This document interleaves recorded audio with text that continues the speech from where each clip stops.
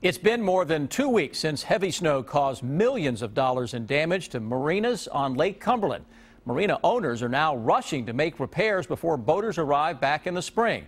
And the owner of Lee's Ford Marina in Pulaski County says something positive did come out of this huge setback. Kristen Kennedy has the update new at 11.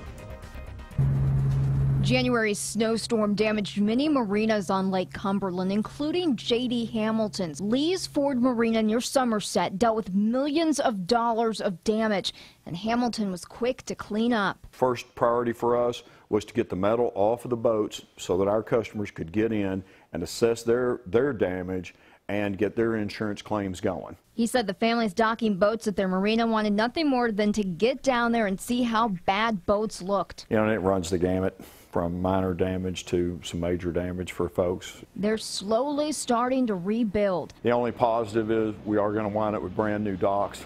So, you know, for all the pain and trouble and money, heartache, in the end, we're going to wind up with uh, brand new docks, and we're looking forward to a fantastic season. Hamilton is hoping for an April 1st opening. We've had a great insurance partner.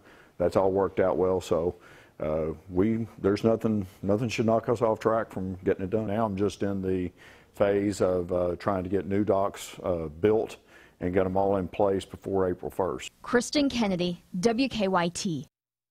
Hamilton says all docks are now clear. All boat owners are now able to get down to the marina to get an up close look at their property.